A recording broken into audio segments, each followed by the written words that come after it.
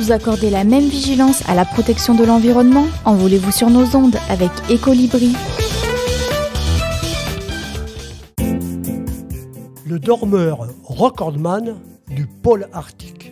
Après vous avoir invité à partager les mois d'hibernation de l'ours, Ecolibri accueille cette semaine celui qui mérite le titre de champion de la lutte contre le froid hivernal tout en dormant. Le spermophile arctique, plus simplement, un écureuil terrestre. Il est le seul qui vive à son aise au-dessus du cercle polaire. Ses performances physiologiques nous sont décrites dans le journal Le Monde de mars dernier. Comme l'ours, le spermophile prépare soigneusement son hibernation. L'augmentation de son alimentation lui apporte 30 à 50% de poids en plus, de la graisse et des muscles. Les femelles, à partir de juillet-août et les mâles en septembre, hibernent dans un terrier peu profond, mais creusé dans un sol gelé durant tout l'hiver. Pour résister au froid polaire au cours de son hibernation, le spermophile accumule les records. Déjà, pendant les 7 mois à 8 mois d'hibernation, il ne mange pas, il ne boit pas, ne défecte pas, il n'urine pas.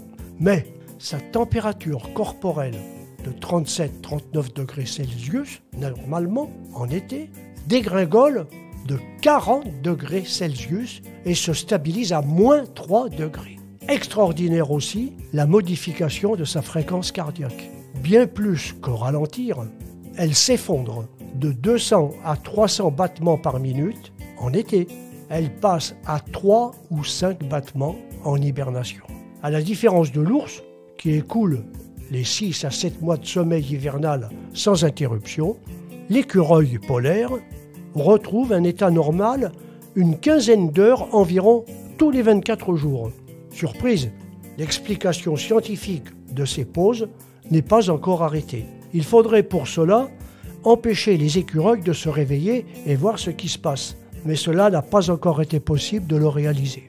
L'hibernation des animaux soulève encore de nombreuses questions. Comment échappent-ils à la faim, à la soif et au froid, qui en principe les empêcherait de dormir Comment protègent-ils leur cerveau, leur rein, leur foie et leur cœur, soumis à une chute élevée de leur circulation sanguine? Comment, enfin, peuvent-ils sortir de ces épreuves physiques non seulement indemne, mais qui plus est, renforcée. La thèse de biologie d'un universitaire strasbourgeois observe que plus l'hibernation d'une espèce est longue, plus augmente sa durée de vie. C'est peut-être là un choix tentant. Dormir beaucoup pour vivre plus longtemps? Et Colibri vous laisse y réfléchir.